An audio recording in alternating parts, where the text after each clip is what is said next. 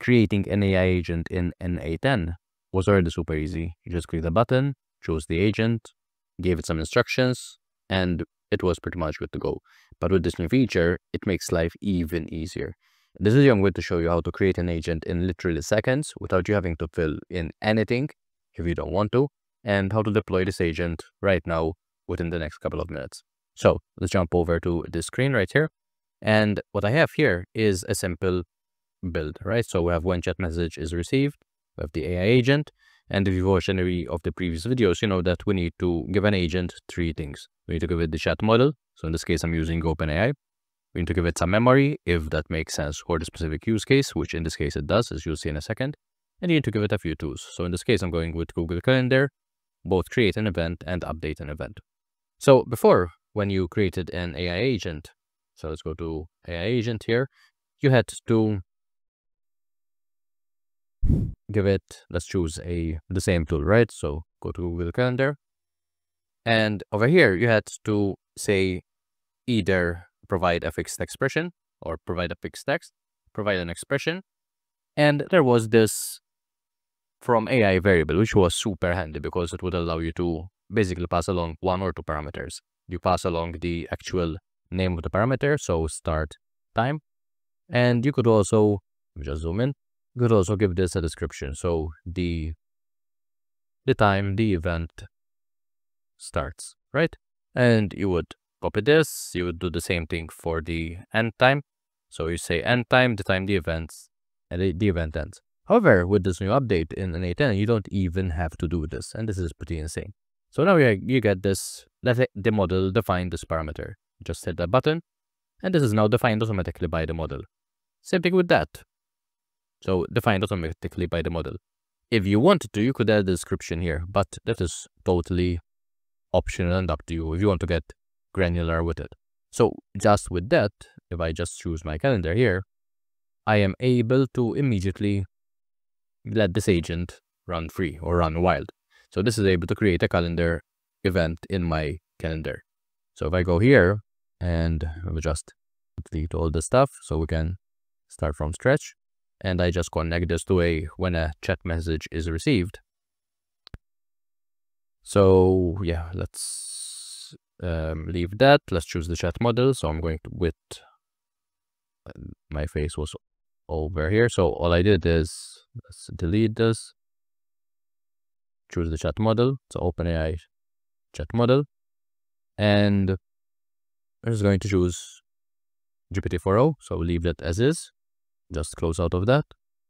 And let's just give it some memory here. So let's choose the Windows buffer memory. Let's leave this context window to 5 and that should be pretty good to go.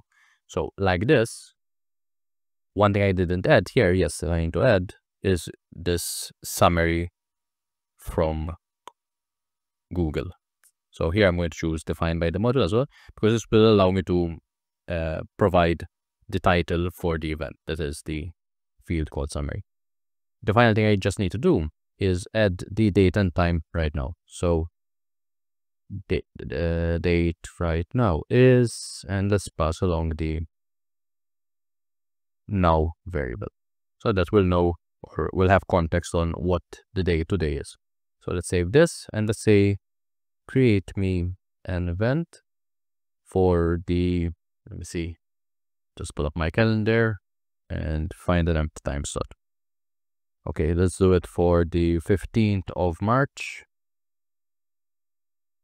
at 8 a.m. I don't, potentially doesn't know my time zone, so just to be sure. Time zone is Malta Central European time. That should be pretty good to go. Create an event for the 15th of March, 8 a.m. Calling it um, YouTube video creation. So let's hit enter. This hits the OpenAI model, created the event, updated the buffer. And if I go to my calendar right here, so it's March 15th, I get the YouTube video creation. 8 a.m. to 9.30 a.m. Did I say? I don't know if I said the time. Yeah, at 8 a.m. calling it YouTube video creation. I didn't specify the length, so it decided it should be 1 hour 30 minutes. And that's pretty much it. So there's not even the need to define the go here, the start and the end time. So this is defined automatically by the model. So pretty, pretty insane type of stuff. But let's take this a step further.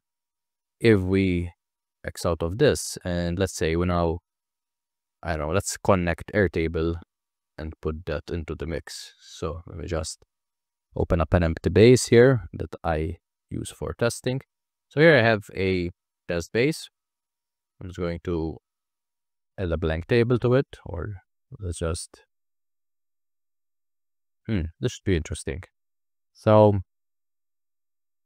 if we go to table three, yeah, let's call this calendar. Let's let's have a event name. Let's have a start date, which is a date field. Uh, let's see if this would work. Let's have an end date. Again, type date. And let's add description. So let's say that we want to have the same thing added right here in Airtable. So here, I'm going to add Airtable, two tools to Airtable. The ability to,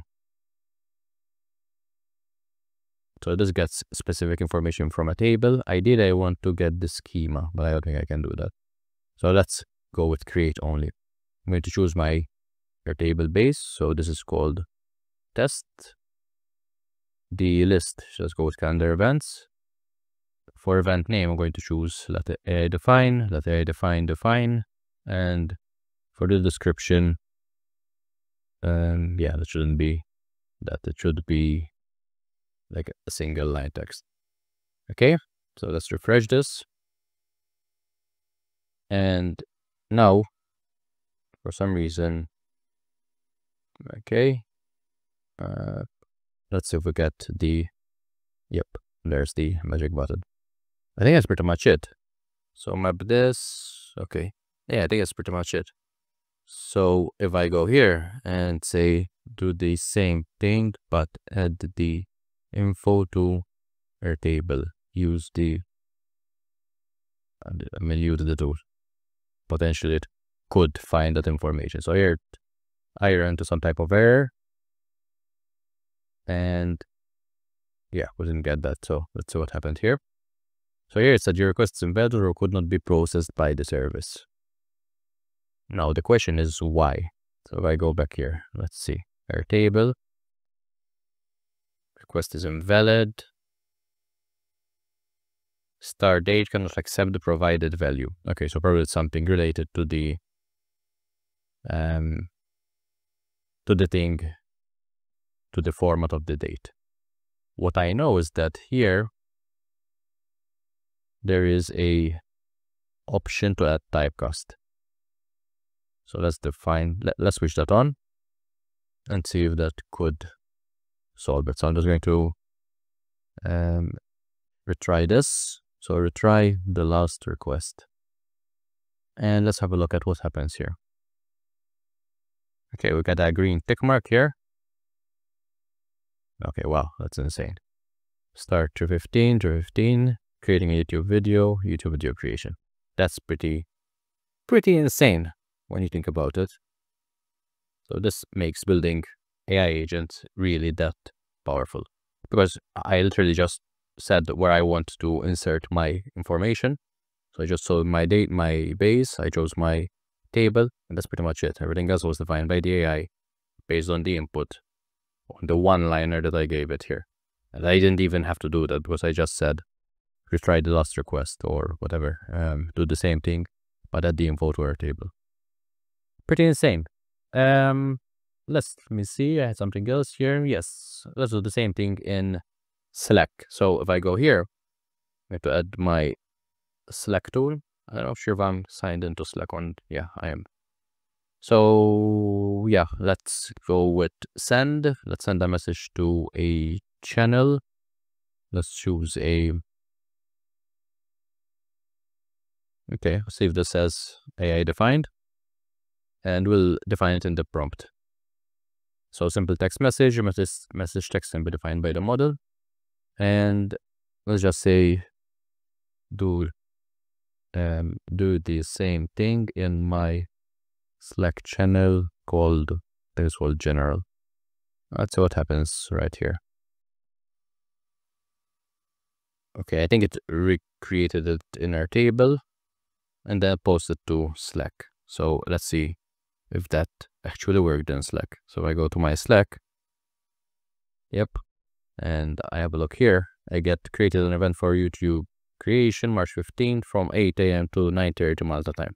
Obviously, I get the attribution here, which I can easily delete, but again, pretty insane stuff. So if I go to Slack here, adoption, um, I guess include link to workflow turned off, and this will allow me to not have this attribution created. So pretty insane stuff when it comes to building AI agents, and it was already very powerful, but with this, I mean, yeah, um, I just found out about this and just wanted to test it out. And it really doesn't disappoint when you think about how easy it is to connect stuff together right here. The ability to connect stuff via HTTP as well. So there's a lot you can do with this new feature as well. Anyway, that's it from my end.